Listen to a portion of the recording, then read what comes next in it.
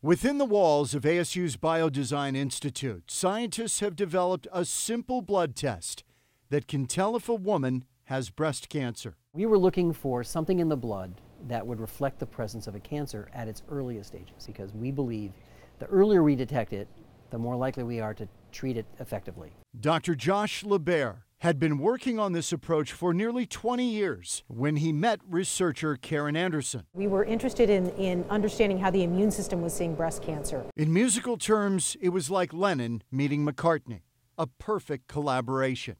LaBaer and Anderson both believed by tracking the body's immune response, they could detect cancer in the body long before the patient exhibits symptoms. We're using the body's own emergency alert system, which is the immune system. Since 2003, they've been identifying proteins produced when the body fights cancer. The immune system starts to see those changes very early as if it was a virus. With thousands of proteins in the body, the trick was pinpointing the specific ones that would indicate breast cancer. So we looked at 10,000 proteins and we came up with 28 in our initial test.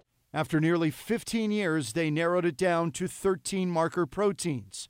This is the result Videssa Breast, developed by Provista Diagnostics, a simple blood test. We call it a liquid biopsy because the idea is versus another biopsy where you need maybe you know a scalpel or a needle to um, open the tissue and take the tissue out we just draw a tube of blood. We get the results back to the um, uh, physician within about five days. When a mammogram detects an abnormality, the Videssa breast blood test can rule out cancer, eliminating unnecessary biopsies. It's a tremendous amount of expense to the system. It's a tremendous amount of time for the woman. It's very inconvenient, can cause a lot of anxiousness, anxiety. This is what we want to reduce. If you um, prevent one biopsy, depending on which part of the country you're talking about, you can save somewhere between $1,100 and $1,500. Videssa Breast can also pick up cancers a mammogram might miss. We want to catch everybody who has cancer, and we don't want to put women under the knife for surgeries they don't need if they don't really have cancer. And for more than a third of all women who have dense breast tissue, mammograms don't work well identifying tumors.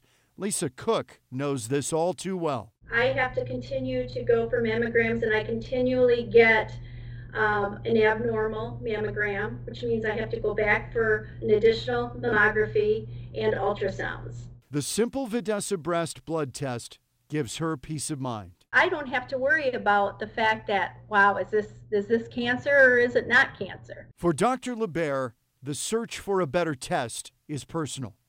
He lost his own mother to breast cancer. Certainly, if we had caught it much earlier, if there had been a blood test that had picked it up early, who knows? And who knows where this search for tumor protein biomarkers will eventually lead in the early detection of many cancers. We are getting better and better at treating this disease, and uh, patients are living longer with it. Uh, it doesn't always make it go away, but it lets them live longer with healthier lives.